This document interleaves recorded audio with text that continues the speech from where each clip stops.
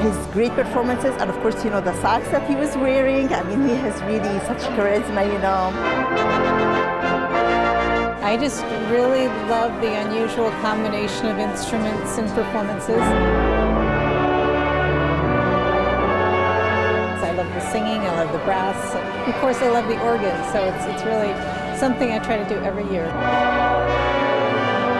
It's always been a part of my life here in Portland.